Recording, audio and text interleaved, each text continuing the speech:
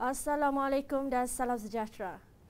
Gabungan Parti Sarawak GPS menyambut baik pengumuman Menteri di Jabatan Perdana berhubung penubuhan sebuah jawatan kuasa pilihan khas Parlimen PSC mengenai pelaksanaan Perjanjian Malaysia 1963 MA 63. Menurut Ketua WIP Gabungan Parti Sarawak GPS, Datuk Sri Fadilah Yusof, GPS gembira dan menyambut baik persetujuan Datuk Liu Wui Kiong untuk berjumpa Ketua Menteri Sarawak, Datuk Patinggi Abang Zohari Tun Abang Haji Openg bagi menjelaskan lebih lanjut mengenai usul pindaan terhadap perlembagaan persekutuan itu.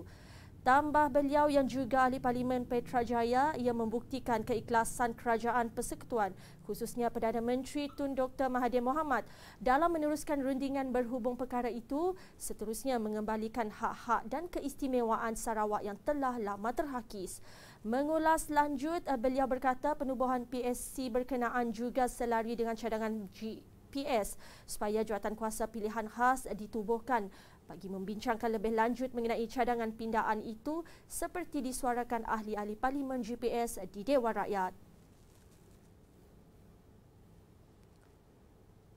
Timbalan Ketua Menteri Dato' Ahmad Awang Tengah Ali Hassan memuji usaha yang telah dilakukan oleh ahli Dewan Undangan Negeri Adun berkenu Puan Rosi Haji Yunus untuk menghasilkan sebuah kamus bahasa Kedayan.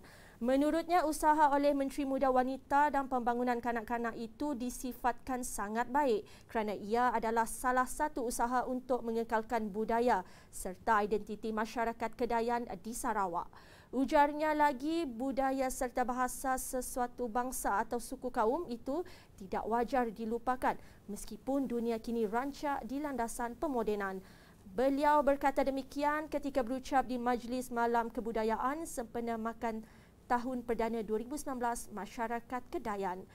Tambahnya lagi, beliau juga mahu masyarakat atau kaum-kaum lain terus mempertahankan adat serta budaya yang ada di dalam dalam usaha mengekalkan identiti kepelbagaian budaya dalam Sarawak. Itu sahaja paparan untuk jam ini. Saya Nurul Ismail. Salam hormat dan jumpa lagi.